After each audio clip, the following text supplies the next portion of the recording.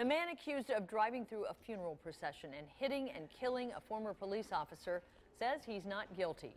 Nine on your side's Bryce Onslinger was the only reporter in court today as Anton Palmer faced a judge.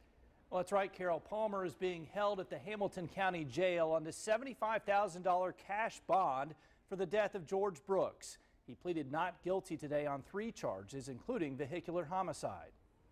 Out to your attorney, face the judge at all times, please, no talking. Anton Palmer faced a judge for the first time today after turning himself in to authorities. Police say he's the man who was driving this maroon car that hit and killed retired Forest Park police officer George Brooks, who was on this motorcycle leading a funeral procession on Liberty Street through the West End. This happened only because somebody wanted to take and and be a little bit quicker in getting someplace where he could have waited just a few more minutes and it was a life changer for many, many of us. Forest Park Police Chief Phil Cannon met Brooks in the late 70s.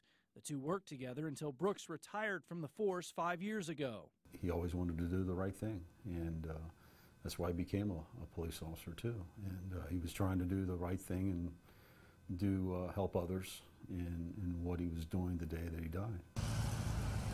Cannon says Brooks loved riding motorcycles. His fellow riders were there the day he was laid to rest. Unfortunately, this is just one of those tragic events that occurred um, that had an enormous effect on not only George's family and friends, but I'm sure it's had an effect on this this person's family and his life. Palmer, a 31 year old father of two, faces misdemeanor charges of vehicular homicide and vehicular manslaughter. His attorney asked the judge to put him on house arrest so that he could be with his pregnant girlfriend, but she decided to keep his bond at $75,000. And now Palmer faces up to six months in prison for each of the three charges he's facing. Tanya?